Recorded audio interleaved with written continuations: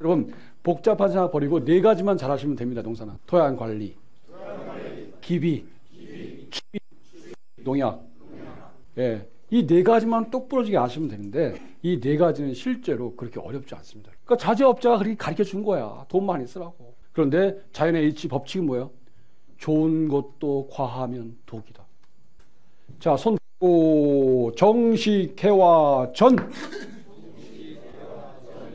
쫙, 쫙, 쫙. 자, 뿌리가 넓고 깊게 뻗으면 수분 보유량이 많고요. 영양 보유량, 미네랄의 보유량 많아서 뭐야? 꽃이 피고 착과된 모든 열매가 골고루 결실을 얻는다. 동의하십니까? 자, 질문.